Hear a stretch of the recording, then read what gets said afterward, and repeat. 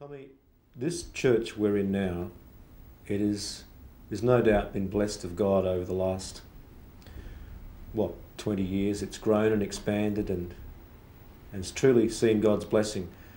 Why do you think we have received such a blessing? Where do you, where do you see the cause of the growth of this church over the last 20 years? Well, looking back and over all my years of experience, I have observed one thing that God plants a church. And when God plants a church, it grows.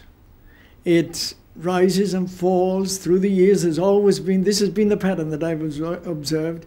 It comes to a peak and then it falls back, but it keeps coming up. It never really dies. And I think that we're now in one of those peaks. So, and is due, I think, to the fact that God planted it.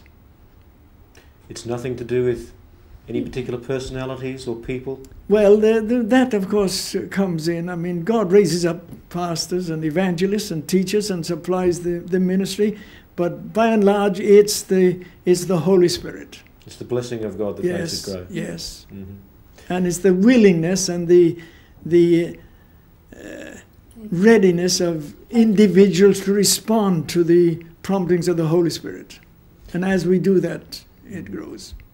Tommy, we're obviously grateful to God for his blessing on this church. If you had to summarize your feelings about God's growth here and through the times that you were there, how would you summarize your feelings toward God and your gratefulness toward him for the blessings that he's imparted here? Well, we are where we are, who we are, what we are, by the mercy of God. It's all the mercy and the grace of God. And uh, we shall be eternally grateful.